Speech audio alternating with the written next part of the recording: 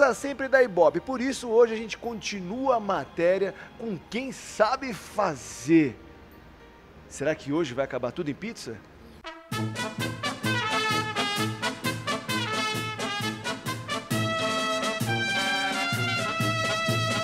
Dessa vez eu trouxe os amigos para me ajudarem, né? Eu fiz o um convite na rede social e a galera veio, olha aqui, ó, para me ajudar na minha dieta, né?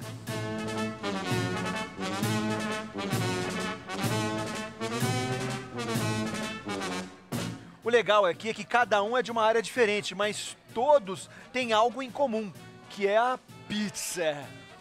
Eu sou Marcelo, eu sou jornalista. Bom, pizza tá no DNA do paulistano, né? Meu nome é Ana Carolina, pizza é algo que eu como com muito prazer. Sou Marina, sou chefe de cozinha e pizza pra mim é descontração, é isso aqui, conhecer gente legal e bater papo. Oi, eu sou Paulo Castilho e pizza pra mim é isso, momento de reunir os amigos com um pouco de gordices.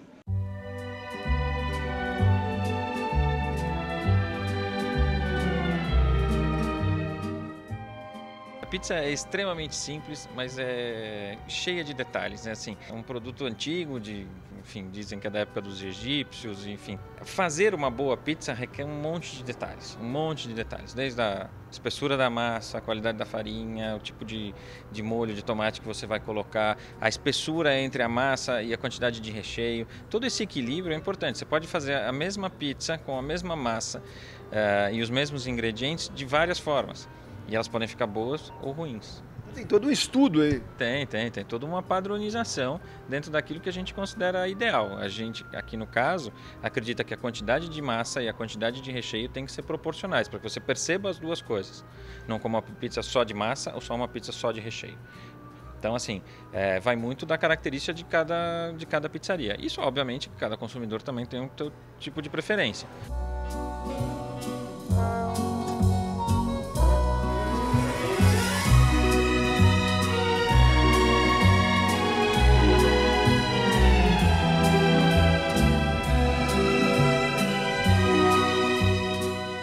Pizza ruim é uma pizza que tem uma massa ou muito borrachenta ou muito dura, né?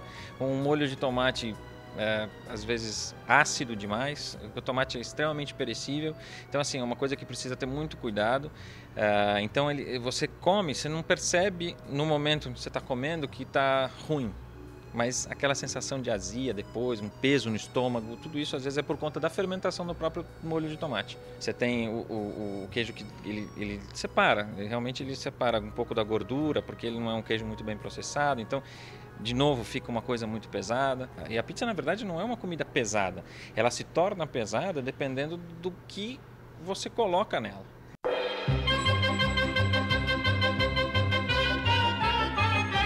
É shimeji shiitake.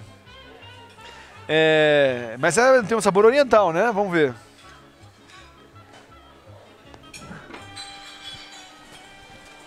Na verdade, eu, eu, tenho um amigo que é japonês, obviamente, e tem um restaurante japonês. E um dia a gente estava conversando, tava lá comendo uns shiitakes, uns shimejis lá no restaurante dele. Ele falou, pô, a gente podia fazer uma pizza disso. Aí ele falou, ah, vamos, vamos. Aí a gente começou a fazer uns testes e, e refogou o shimeji e o shiitake misturadinhos ali com shoyu, manteiga, etc.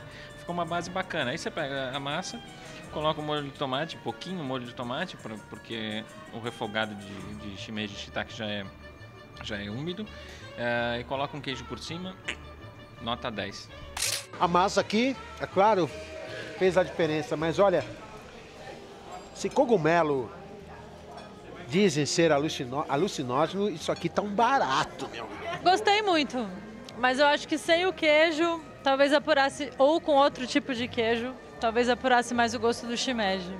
Também gostei muito. Eu sou apaixonada assim por todos os tipos de cogumelo possíveis. E a combinação do shiitake shimeji ficou legal. Deve ter alguma coisinha de um shoyuzinho, aí um olhinho de gergelim que tá com gostinho bem oriental mesmo, mas a massa, a crocância da massa nessa nessa pizza deu uma textura diferente. Ficou bem legal. Eu particularmente acho que o shimeji shiitake parecido um pouco com lesma, né? Mas eu sempre achei, né? Sem que é besteira falar, mas é muito gostoso e cogumelo faz muito bem para a saúde, né? É como se fosse uma um antibiótico natural.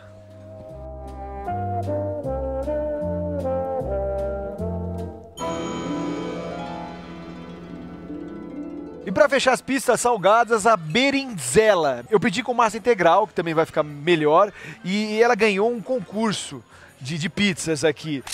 Você tem uma pizza de berinjela que entrou no cardápio por causa de um concurso. É, na verdade, assim, tem hora que a gente está sem criatividade, a gente apela para os clientes, né? E me lança um concurso gastronômico qualquer, é, eventual, assim, tipo, olha, mandem aí receitas que vocês acham que a pizzaria poderia ter é, no nosso cardápio. Uma pessoa que ganhou foi engraçada, que ela ganhou a pizza de berinjela, é, que ela por acaso chama Maria José, e aí a pizza ficou Berinzela, de Maria José. Então o nome dela entrou na pizza, no cardápio de todas as pizzarias? Entrou, tá lá, quem vê o cardápio tá lá, a pizza dela. Então ela escreveu a receita simplesmente e mandou pro concurso. E foi passando, foi passando, e a gente interpretou o que ela tinha escrito de uma maneira.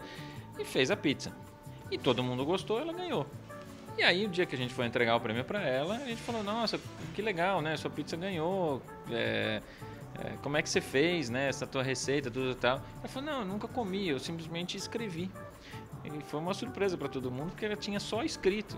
Ela nunca tinha comido a própria pizza que ela tinha criado. Massa integral, mussarela de búfala, berinjela, bela, muito bela, muito bela. Tá boa, essa tá na medida, né? Tá ótima. Chuchu. Agora eu queria saber, na verdade, o segredo aqui, ó. Eles falam mussarela de búfala, mas é uma pastinha de mussarela de búfala. Esse é o toque. Eu achei muito boa. É, a berinjela combina bem com azeitona, é praticamente uma caponata aí com mussarela de búfala e ficou muito legal com a textura da massa integral também. É bem saborosa, né? Bastante. Azeitona preta intensifica o sabor da berinjela, ficou bem legal. Quer falar, Castilho? Você quer falar? Não posso falar de boca cheia que eu tô comendo. Minha mãe falou que é feio. Olha, muito suculenta. Não é uma pizza sequinha, mas é fantástica. Tô para dizer que é uma das melhores.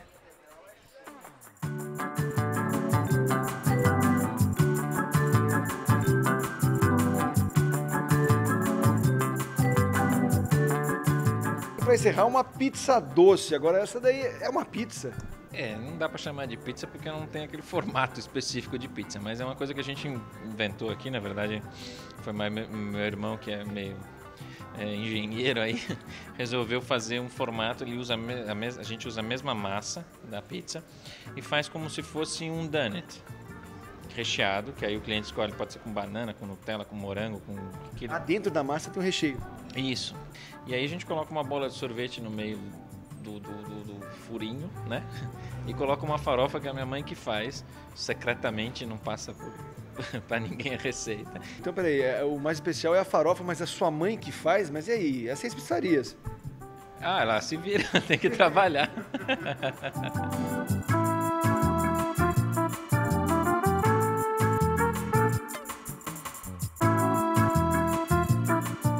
É muito bom, viu? Boca livre. Nutella maravilhosa. Já acabou.